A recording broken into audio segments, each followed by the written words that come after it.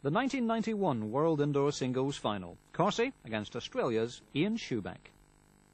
This man has got to change it. He's gone a ball wider now. He wants almost the same length as his previous ball, and he'll rest out Richard Corsie's shot ball, and he's very close to doing it. Never mind resting the shot ball out as he reached the jack, and that is the shot. Brilliant stuff. The quality of play in the 1991 final was outstanding, both players continually outdoing the other. Good coaching and long hours of practice were paying off on the biggest stage of all. Corsie forehand, going for the trail. Can he get back? I think he's just about done it. Oh, so close. Look where he's finished. Almost in perfect.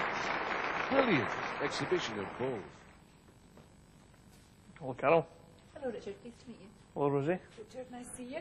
Hello, Andy. Richard, nice to meet you. Hello, Murray. Nice to meet you, Richard. Welcome today to Fintry. And today we're going to have a look at your delivery actions. That's the first thing we're going to start with today. Every bowler's delivery action is very unique in their own right. Many coaches will tell you that your left hand, when delivering the ball, must be placed onto your left knee. That really is incorrect. I'll demonstrate to you. I actually deliver a ball. My left hand is nowhere near my knee. I'll just demonstrate to you. As you can see, I'll use my left hand to balance me here. I'm perfectly balanced and I'm quite comfortable with that. So what's right for one is not right for another.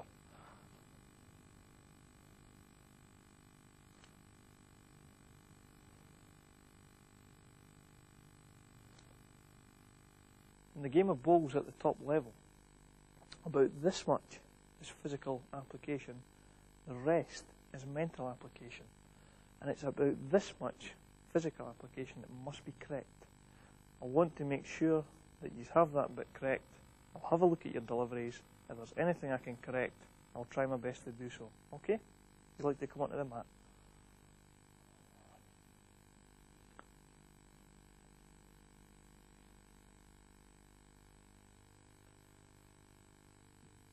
Good, good balance. One on the back now, Carol.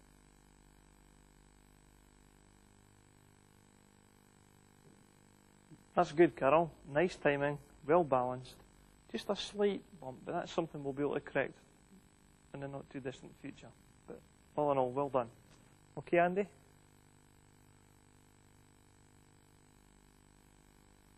Same again, one on the floor and one on the back.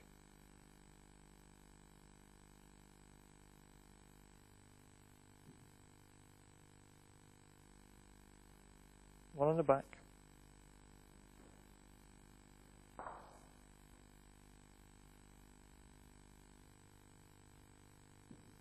Okay, Andy. The only thing I can see is that your head is looking down at the ground and then back up again.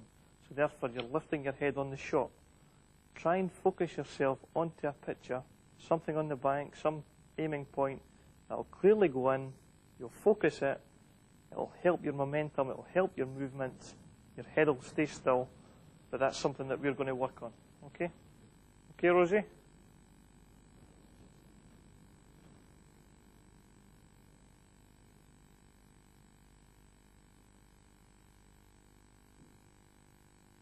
Good delivery. Nice follow through.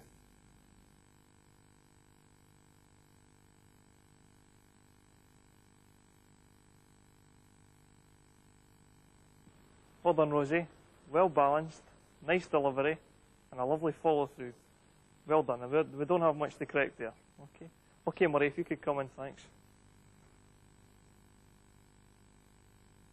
Okay, same again. One on the forehand, one on the backhand.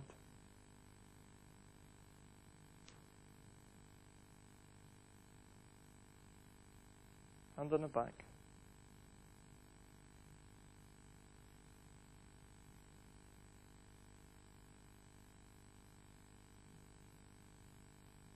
Again, Murray, that's a very good delivery. You're well balanced.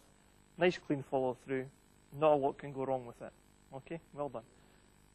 Andy, if you could come back in, I feel as though we have a bit to do with Andy. We're going to see if we can correct the movement on your head. We've now established the aiming point, okay? If you can keep staring at that aiming point, there's absolutely no way your head will move. So it's staring, staring, staring, picking the aiming point up. Your head won't move, okay? Have a shot. Okay. Staring, staring.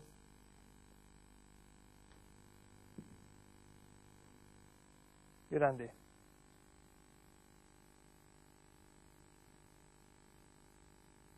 Okay, Andy, did that feel any better for you? I felt okay. Right then, that's good then. If I could just bring you all in at this point, and uh, we're going to move on to the cluster exercise.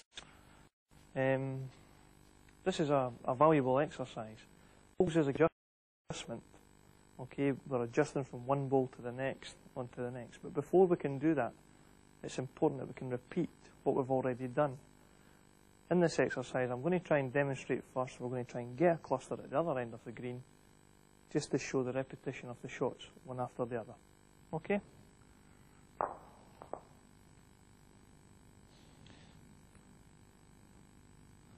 Okay, I'll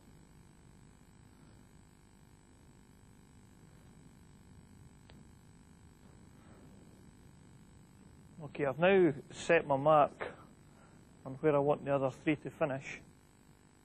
And I'll try and give you a commentary on how they're doing.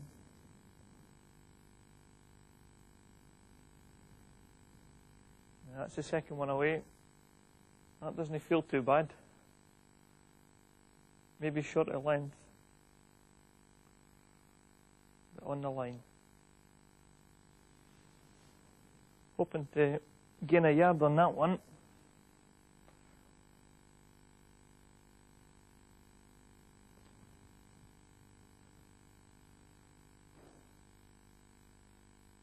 Again, shorter length, finishing beside the second one. Again, on the line.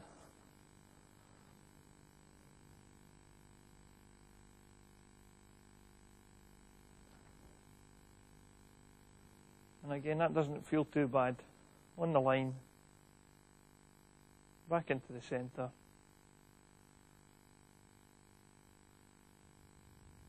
And that's a reasonable wee cluster. Okay?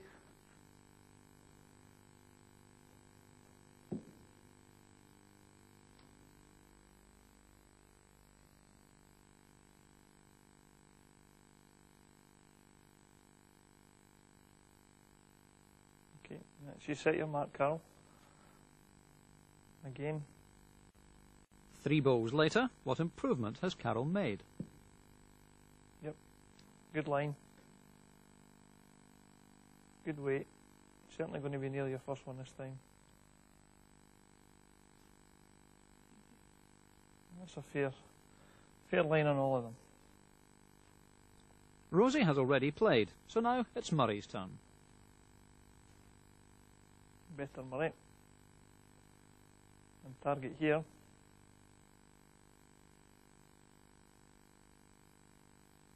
That's good, mate. Yard over. That's good stuff.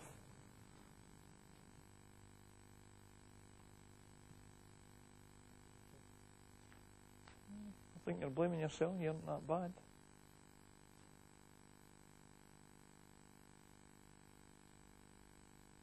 That's very good, Murray. Well done. Good stuff. What we'll do now is we'll go up and we'll just see how close the clusters have gathered, okay?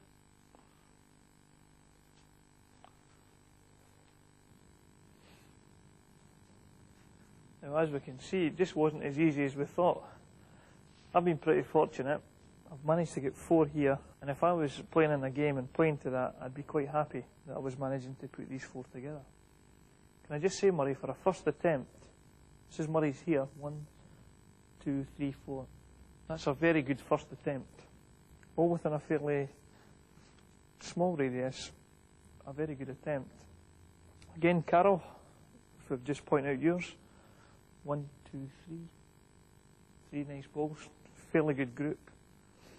Unfortunately, this one down here, okay, that could easily be tension. You know, just tension up in the wrist. And that's easily just slacking off. Feel free and relax. Good group. Rosie, Now, there's quite a variation in Rosie's here, but as we can see, they're all on a perfectly good line, and that's good, Rosie. You're picking the line very good. Again, quite a distance, but not bad for a first attempt. Um, all in all, quite a good exercise. All right, Murray.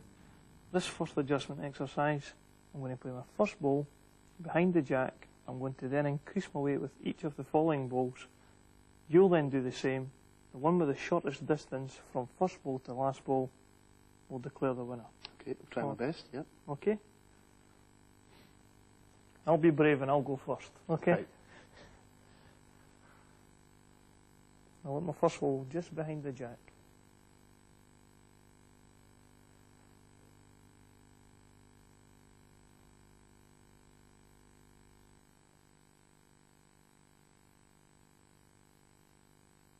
Okay, I want to increase on that, not by too much, just in case you beat me.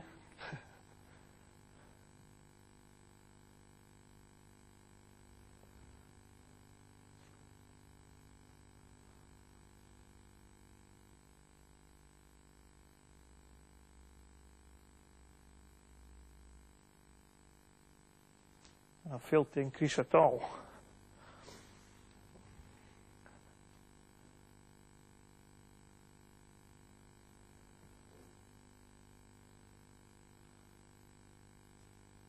Again, this time I've been successful in increasing. Just past the balls. That's quite a good distance.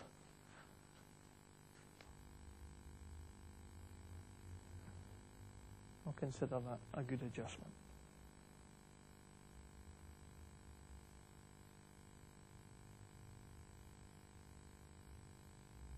Fairly happy with that. Okay, Murray, on you go.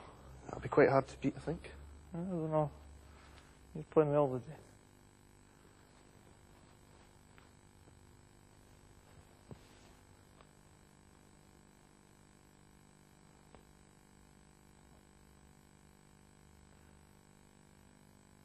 bit heavy.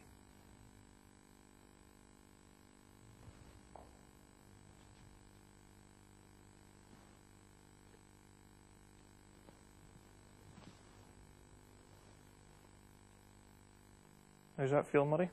I don't think, I don't think I sent that one as further as the first one.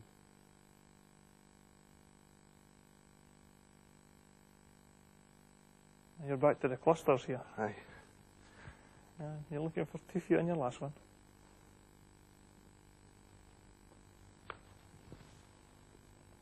How's it feeling? Felt a bit better, but I think you've done the same again. I think it's tighter. Okay, come on Murray. Two feet. Two feet in the next one. That's two feet.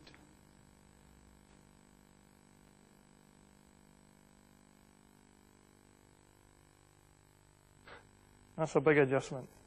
Two yards. We'll go and have a look at that, eh? Generally, in a course of a game, you often find that the jack is moved, and you generally do have to adjust, you know, by margins. And that's um, part of the reason for the exercise. As you'll see here, I've increased by about two feet here, and again about a foot here. And the second one was pretty poor, but quite happy with that as an adjustment. Here, same pace, Murray. This one would have actually reached further, Yeah. obstructed by your own ball.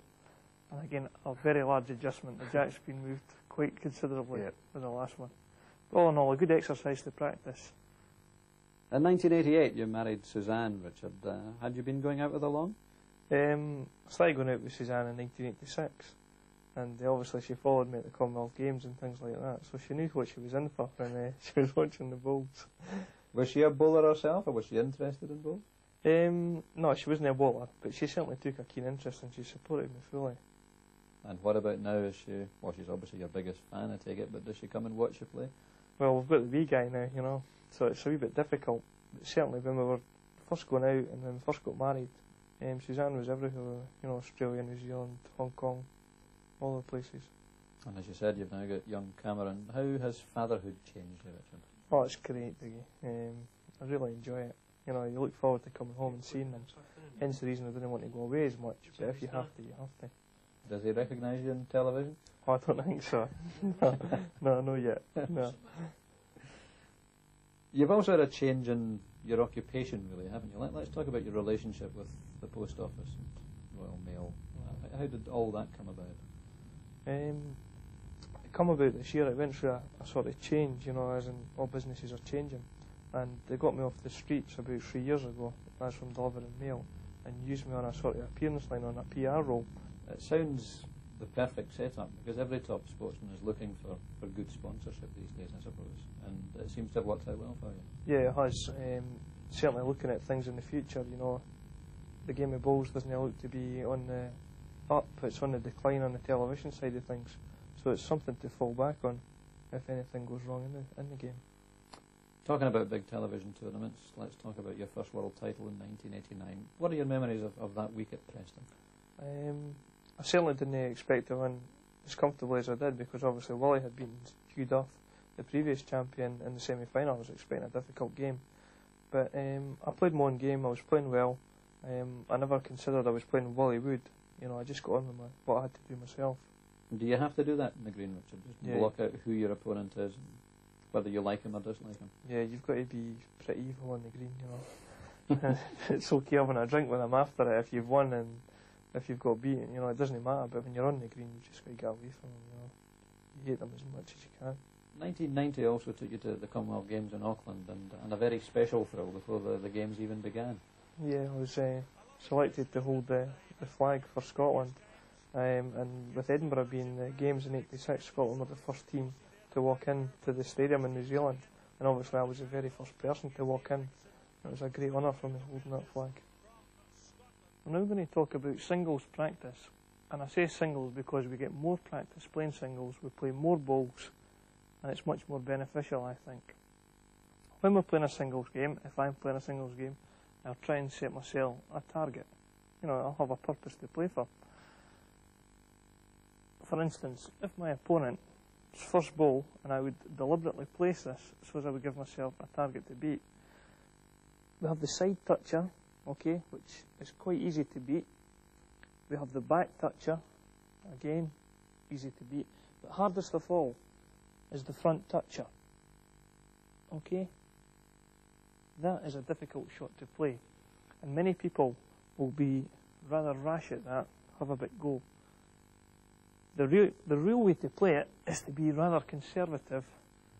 One, get one close. For two reasons. If we have one close, we're not going to lose a count. And secondly, if it is by the jack, it's in a receiving position to receive the jack. So if I was happen to put my second ball into here, okay, one, I'm not going to lose a count, and two, my second ball coming up, if I was to touch it, like so, I'm now in a receiving position and I've scored the shot. Without any question, if you're playing singles practice, set up a front toucher and give yourself a target of four balls at trying to beat that without driving. And it's quite a good exercise for you. One of the things about practicing in singles is to put a condition and give yourself a target to beat.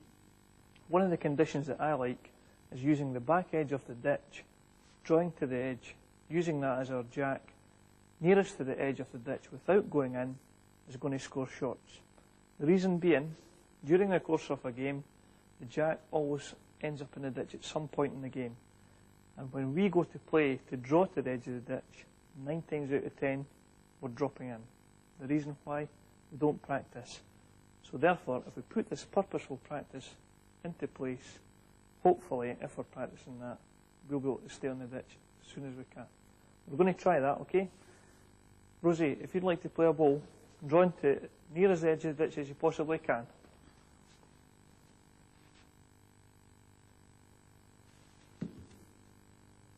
Okay, Rosie, speak to me. I think it's a bit heavy. In fact, I'm certain it's a bit heavy. No, It Doesn't look bad to me. thought I'd thrown it quite heavy. That's absolutely superb. Well done.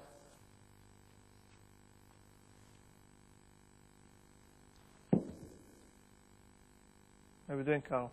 Well, I certainly bumped it, but uh, don't think it's in the ditch. Good. Well, that's great stuff. Okay, Murray. Come on, the women are taking you to the cleaners here.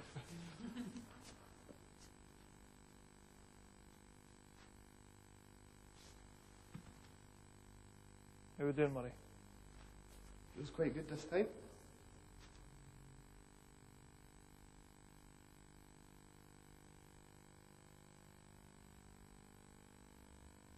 Good stuff, Murray. Follow that, as they say.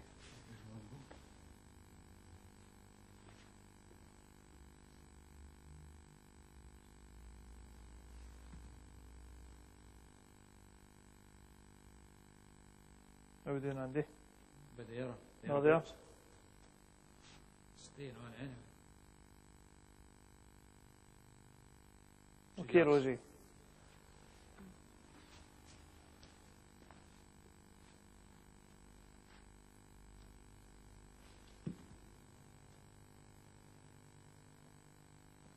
This time? Feels better this time. Is that? That's Yep. good then. That's because it's not so far. That's right. Your first one you thought you were actually in, and you weren't in at all. Okay, Carol.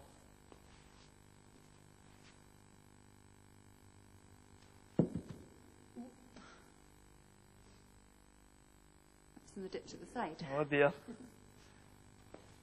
Right, Murray.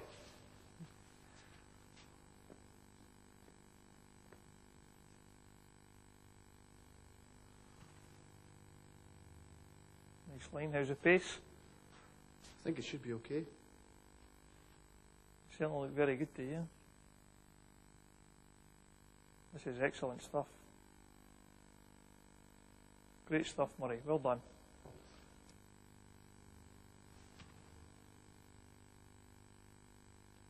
How you feeling, Andy? Better than the last one, I think.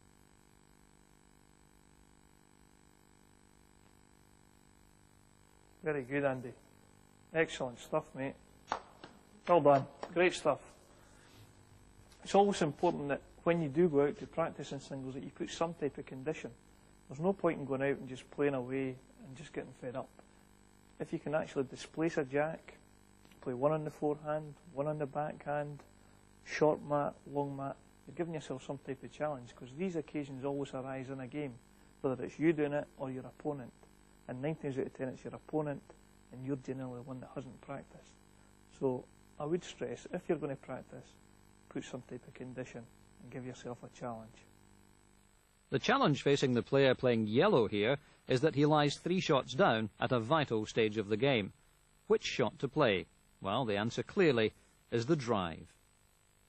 The aim is to pick up the jack, take it into the ditch, and since the driving ball is obviously a toucher, it counts, and that's two or possibly even three on a measure. This is an exercise where we're going to practice driving.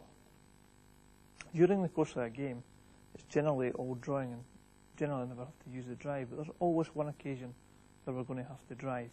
And it's nice to have that shot in your armour. That is why, when we're in the practice, we should practice driving. I've set up this small exercise. Never ever drive to a bare jack. Always try and put something beside it. Make it about a two and a half foot target on most occasions. We have this area here, and if we're in this area all the time, we're doing very well. And obviously, if we're not, we're in a little bit of trouble. So the ball coming in, we're going to get a result here, going to get a result here. We're going to try this exercise. Said, we're going to put the balls up the other end, and we're going to try it from here. All right, Rosie, Murray, we're now going to just take it easy here, Rosie. You can't wait, eh? See, there's a bit of devilment in you. We're now going to play the driving practice. This time, as I've explained before, each person driving finds their own speed that they're comfortable using. You don't have to go hell for leather at it. Whatever you find comfortable, that's the speed to use. When you go, Rosie.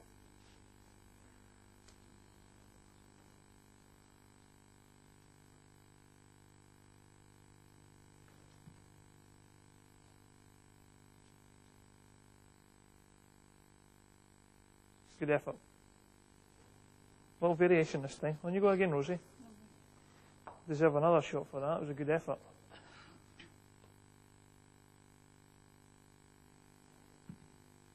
Good. Very good. Well done.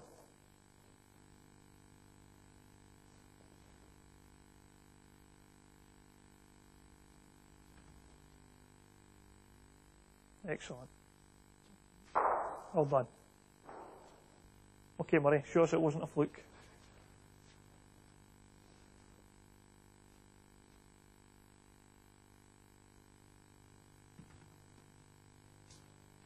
Well done again. Great stuff. That's good going. Well done. There's one thing that I would like to stress is that when we are driving, wherever our left foot goes, I'll try and demonstrate it, the body always follows. Okay, so if we get position correct on the mat, generally try and use your right foot at what you're going to aim at, left foot forward, the body always follows through. Therefore, you're getting your balance, you're getting your correct line. Good point to remember. I'm going to have one more try at this, and I'll try and demonstrate me going through on it. Okay? I'll slow it down a wee bit. Dive in there. Backswing and through. Okay? Simple as that. Okay?